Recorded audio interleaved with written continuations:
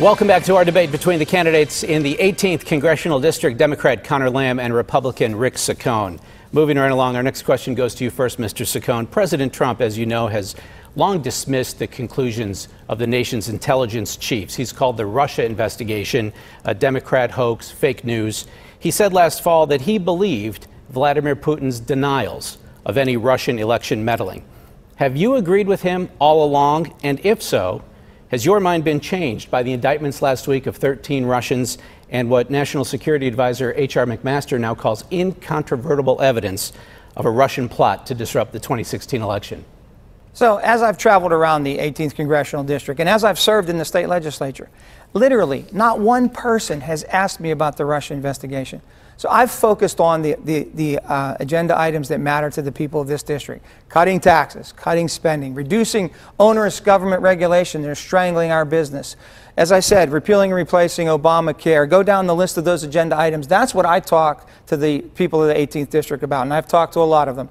Um, I haven't focused on the Russia investigation. I'm glad to see that uh, Mueller came out and had his indictments and basically vindicated the president. There was no collusion there, which he's been saying all along. But that's not been the focus of what I've been on, and I, and I, I will continue not to focus on that because that's not what the concerns of the of the constituents in the 18th district. Well, uh, fair enough, Mr. Saccone, but as a potential member of Congress, it might interest voters to know whether you take this issue seriously or do you agree with the president that there's nothing to it? Fake news, hoax. Look, if, if, if what Mueller said is true and there's been indictments of, of people trying to meddle in our affairs, then we need to look into that. Obviously, we need to investigate that. But that's not the whole story. The whole story has been about accusing the president of being of colluding with the Russians, and that hasn't been substantiated. So I'm not focused on that, as I said, because there's no evidence to support it. I'm focused on what the people of the 18th congressional district are concerned about. One, one more go at you. Do you believe the nation? Do you personally believe the nation's intelligence chiefs that Russia essentially attacked our democracy and tried to disrupt our electoral process. Do you believe that? I believe that the Russians, according to the evidence that I, and I only have the evidence that you're, you have access to, I'm not in the intelligence community anymore, but I believe the Russians have tried to disrupt our, our they always have been. They have been all during the Cold War, all the way through, all the way through today. So the Russians are always trying to disrupt our system. Thank you, Mr. Saccone. Mr. Lamb, uh, I want you to address the same question, but let me add that the nation's intelligence chiefs say that Russia is already meddling in the midterms this year. Are they meddling in this race? I have no evidence that they're meddling in this race, Ken. My concern is that we might not know if they were, because I don't think Congress has taken this threat as seriously as it deserves. And I think you heard some of that in what Mr. Saccone just said. You know, he and I both served in uniform, but it seems like we learned very different lessons from our service. Uh, what I learned is that we have to protect our people and our way of life here at all costs. I believe we need new legislation and new funding to make sure that our cyber defenses are better tomorrow than they are today. We here in Western Pennsylvania are actually very well poised to lead the fight there because of pioneering work being done at Carnegie Mellon in conjunction with the FBI office here in Pittsburgh. We need to learn those lessons, take it national, uh, and yes, when the, our own national security advisor, someone appointed by the president, comes out and says that the evidence is incontrovertible, that they have meddled in our elections, I believe it, and I don't think this is a discussion about defending the president. It's about protecting our people. And is your take on the local electorate the same as your opponents? Do you believe this is not a top of mind issue for voters in the 18th district? I don't believe that because that's not what voters have told me. Uh, it's true that our people are very focused on economics, on health care, on Social Security, but we are all interested in making sure we protect the cornerstone of our democracy, which are free and fair elections. Rebuttal, Mr. Saccone. I object to what my opponent just said. He, he made it sound as if he's protecting the people and in his service, and, and I'm not. Look, I, I respect his service of three years in the legal office, but I spent my career 18 years fighting terrorism,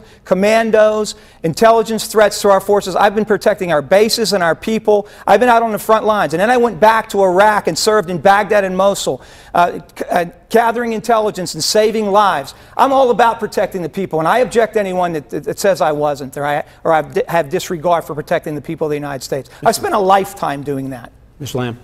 Ken, what matters is how we vote and the positions that we take now. And there's a clear difference between me and Mr. Saccone on this and so many other issues. Next question goes to you, John Delano. Uh, gentlemen, I'd like to get you both to talk about religion in your life and public policy making because neither one of you have shied away from talking about your religious faith. Mr. Lamb, starting with you. On your website, an Catholic and a graduate of Central Catholic. And as a Catholic, you have said life begins at conception, and you call yourself personally pro life. Yet you support the current law with respect to abortion rights. This seat is vacant because the former incumbent preached pro life, but then allegedly urged an abortion on his mistress. So are you saying that your personal beliefs are one thing, but your actions in Congress will be another? John, I do believe that life begins at conception. I've always believed that, and I believe it in all cases. Uh, however, I also believe in the separation of church and state. And what we're running here for here is Congress, not Cardinal. I don't believe that my personal religious beliefs should dictate the legal rights of women all over this country. Uh, it's a complicated and complex issue on which many of people of faith disagree. Uh, there, I have Jewish and Muslim friends who don't agree with me on this topic. A strength of our country has always been that we don't single out one religious belief and make it the law. I would not outlaw uh, a woman's right to choose. Well, Mr. Saccone, you've called yourself a man of Christian faith and have frequently sponsored legislation in this area, like bills to require all schools to post the motto, In God We Trust, and for the state to declare a day of prayer and to create a year of the Bible in Pennsylvania. So, what exactly is the role of your religious faith in enacting public policy for believers and non believers alike? In short, do you really believe in the separation of church and state? John, I got to go back to, to my, what my opponent just said about pro life. This isn't a matter of religious faith. This is a matter of protecting our most helpless constituents, those that don't have a voice. I've enacted legislation. I spoke passionately on the floor after the Gosnell tragedies in Philadelphia, where people were being killed. Women were being killed when they think they were they thought they were going to have a safe abortion. They were being killed, in, in addition to the babies that were being killed. All we did was improve the, ins- the ins- health inspection limits in those clinics, and since then, over 20 clinics have closed. We've saved a lot of women's lives. We've saved a lot of babies' lives just by bringing the health inspection standards of those clinics up to the same standards of, as every other clinic clinic. That's why I'm endorsed by CatholicVote.org. That's why I'm endorsed by National uh, Right to Life. That's why I'm endorsed by the Pro Life Federation. That's why I'm, I'm endorsed, endorsed by PCUC. It's not a matter of religious faith. It's a matter of doing what's right for our most helpless constituents. Those babies have no voice, and more than half of those babies are women, and they are pronounced a death sentence without having any due process, without having anyone speak up for them. I believe that's an obligation of government to stand for those innocent people. But, Mr. Saccone, back to my question Do you believe in the separation of church and state? I do believe in the separation of church and state, but that is, has been misconstrued to mean that God has to be sanitized from our public life. Look, our national motto is In God We Trust. It is, a, it is a Pennsylvania history story. If you haven't looked it up, look it up, ingodwetrustpa.org. Go see the history of, our, of it. It was started by our 13th governor right here in Pennsylvania. I think we should celebrate that. We just had the 60th anniversary of it as our national motto and the 150th anniversary of it on our coins. The Supreme Court has ruled that it is our national motto. So our government motto should be fit for our, for our government schools. That's why I put forth a, a resolution that passed unanimously to celebrate that. Mr. Lamb, your response to Mr. Saccone's comments? This issue is really about who is best to make these decisions. I believe that the best people to make them are women in consultation with their families, their doctors, and their faith communities, not the government. Uh, and I think when you talk about sticking up for our most vulnerable citizens, it's difficult to then vote for huge trillion dollar cuts to a program like Medicaid, which takes care of our elderly, uh, our single mothers, people who are suffering from the disease of addiction. Uh, we know that Mr. Saccone is in favor of cuts like that, and I believe that if you want to stick up for life, you have to do it from cradle to the grave. Mr. Saccone, you get the last word on this one. Thank you. That, that's such nonsense what I just heard. The biggest cut to Medicare was Obamacare, which my opponent and his party supports. $715 billion uh, funneled from Medicare to pay for Obamacare. I'm not for that. I'm for, I'm for saving our system, reforming it so that it works for everybody. Mr. Saccone, policies aren't the only thing that divide Americans. The president tweets, and at times what seems to be tawdry tales seem to follow him constantly. Yet you are closely aligned with the president, a president that has refused to condemn a White House staffer accused of assaulting two of his former wives, and he has called some of the women who have accused him of sexual assault liars. Do you believe the president has a moral compass? And Are there areas where your morality is in conflict with the president's? Look, I can only speak for my own uh, morality and my own view on this thing.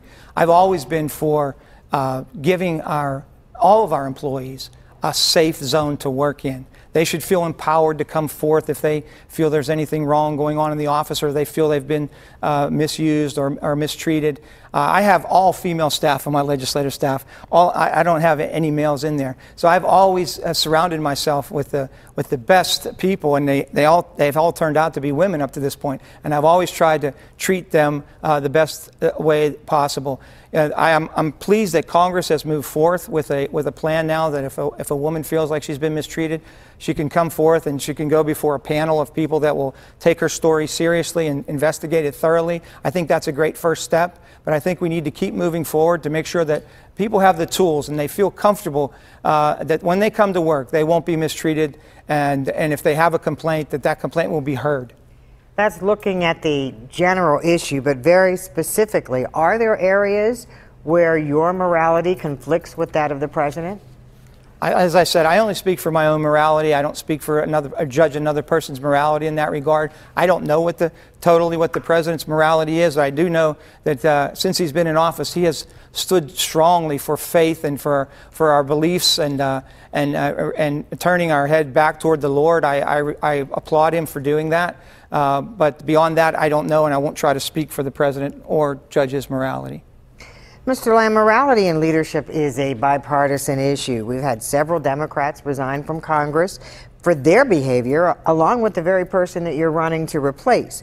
What promises will you make to voters to assure them that morality really does matter?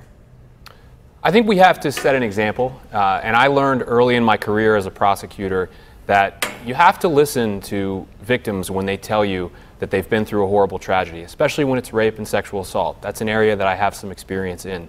Uh, we have to be careful. And I think Mr. Saccone and I agree that, that people need due process no matter the accusation. I believe that's true for everyone.